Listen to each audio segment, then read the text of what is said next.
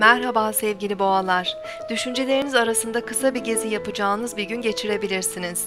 Zihninizi düzenleyip ileriki günlerde yapmak istediklerinizi bir plana oturtmanız günün ana konusu haline gelebilir.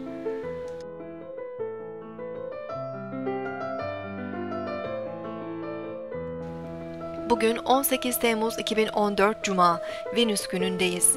Koç burcunda ilerleyen ay sabah erken saatlerde Uranüs'te kavuşacak. Güne huzursuz ve gergin başlayabiliriz. Sabırsız ve cesur eylemlerde bulunabiliriz. Bu durum gereksiz riskler almamıza da neden olabilir.